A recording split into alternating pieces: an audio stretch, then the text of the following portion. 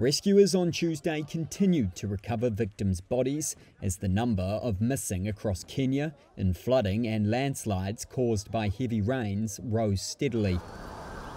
In Mai Mahiu in central Kenya, at least 48 have been killed and dozens remain missing after a mudslide and flash floods hit the town early on Monday, the Kenya Red Cross said. The water swept away cars, railway tracks, and houses. Mary Mwangi's family were overwhelmed. My last born daughter, who was holding onto my back while we were in the water, was begging me not to leave her.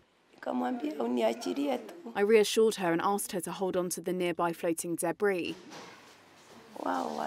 Unfortunately, she is gone now. My eldest daughter is in hospital at Mai Mahiu, but the rest.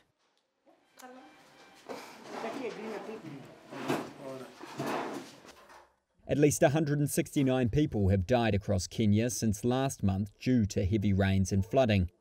Over 190,000 people have been forced from their homes, including 147,000 in the capital, Nairobi, according to the president's office.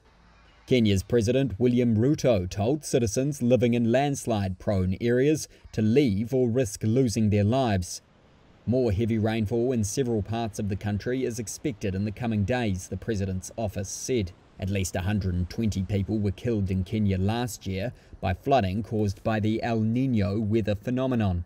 It was followed by the worst drought large parts of East Africa had seen in decades. In neighbouring Tanzania and Burundi, dozens more people have also been killed and hundreds of thousands displaced by heavy downpours. Scientists say climate change is causing more intense and frequent extreme weather events.